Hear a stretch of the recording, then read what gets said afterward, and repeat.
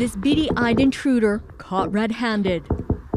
Now my van is completely trashed. Leanne Cederberg believes she must have left a door unlocked. Early Sunday morning, the bear scouted its target.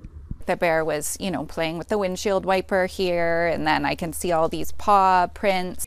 Inside, mangled metal and shredded car parts. The bear has completely destroyed this van. Take a look here. The inside has so much damage. And this door won't even open now.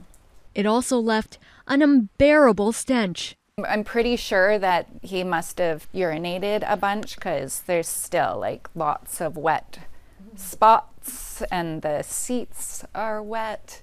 Cederberg is used to seeing bears in the neighborhood. There's a bear in our house. One even came into her mudroom. It's right there. But she didn't think a bear could get inside her vehicle, and she's not sure why it did.